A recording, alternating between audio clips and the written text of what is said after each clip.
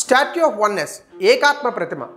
ఆదిశంకరాచార్యునికి నివాళిగా ఓంకారేశ్వర పట్టణంలో నూట ఎనిమిది అడుగుల ఎత్తైన ఆదిశంకరాచార్యుని విగ్రహాన్ని మధ్యప్రదేశ్ ముఖ్యమంత్రి శివరాజ్ సింగ్ చౌహాన్ ఆవిష్కరించారు.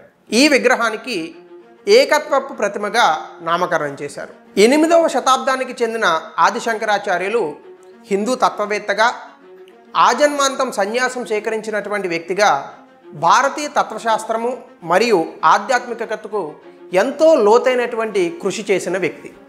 కేరళలోని కలాడి ప్రాంతంలో జన్మించినటువంటి ఆది శంకరాచార్యులు ఓంకారేశ్వర పట్టణంలో తన గురువైన భగవత్పాదుని కలుసుకోవడం జరిగింది. శంకరాచార్యులు పన్నెండు సంవత్సరాల వయసులో శివునికి అంకితం చేయబడిన పవిత్రమైన జ్యోతిర్లింగ క్షేత్రాలలో ఒకటైనటువంటి ఓంకారేశ్వరును సందర్శించి పన్నెండు సంవత్సరాల వయసులో శంకరాచార్యులు ఓంకారేశ్వర్ పట్టణాన్ని సందర్శించారు.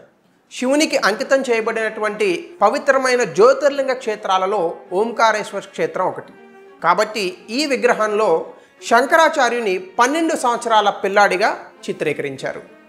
సనాతన ధర్మాన్ని పునర్జీవింపజేయడంలో అద్వైత వేదాంత తత్వాన్ని సిద్ధాంతాన్ని సమర్థించడంలో సాంస్కృతిక ఐక్యతను ప్రోత్సహించడంలో ఆది శంకరాచార్యునిది ఎనలేనటువంటి కృషి.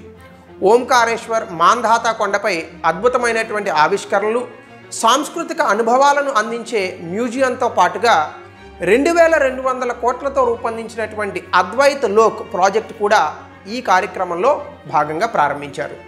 ఈ విగ్రహానికి సంబంధించి మెటల్ కాస్టింగ్ చైనాలో రూపొందించగా విగ్రహాన్ని భారతీయ కళాకారులు రూపొందించారు.